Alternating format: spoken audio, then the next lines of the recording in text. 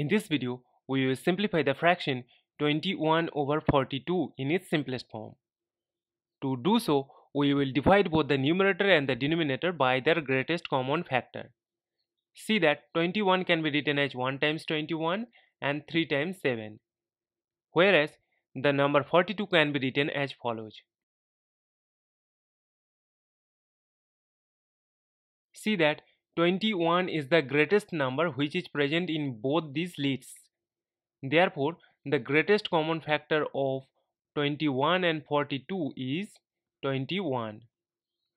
Now to simplify this fraction, we will divide both 21 and 42 by their greatest common factor which is 21. And if we do it, we will get 1 over 2.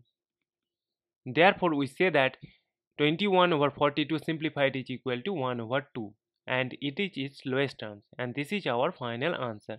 Thank you for watching. Please like, share and comment on the video. Also do subscribe the channel.